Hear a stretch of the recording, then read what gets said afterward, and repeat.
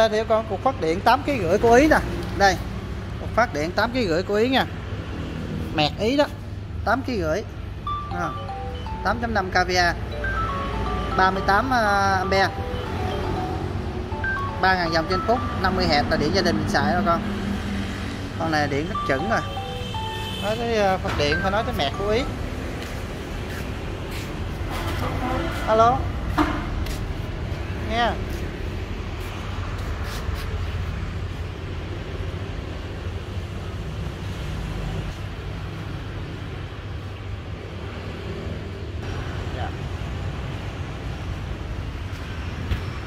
Đây cũng phát điện 8 kg rưỡi 8 camera của ý nha 8.5 này mới trong thùng thôi bà con. Có hình một năm.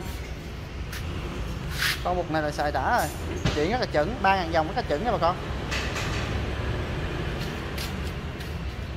Đẹp không nè rồi con nào có nhu cầu luôn 088 635 6707